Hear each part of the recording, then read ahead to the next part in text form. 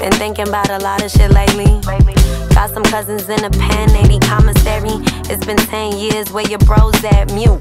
Ain't no commentary. Got me sitting here reflecting. Likewise, never plans to buy the block back. It's always how can we make it out the hood? Not how can we get the hood out the hood, make the hood not the hood.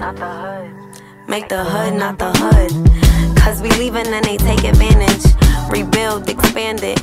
Bring the transplants in, they do they damage. Now they got some shit called Sobro. You know, like Soho?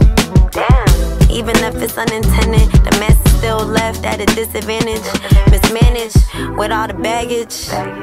And we the ones that left them stranded. Understand this?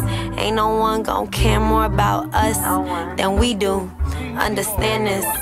Let's take it back to the basics.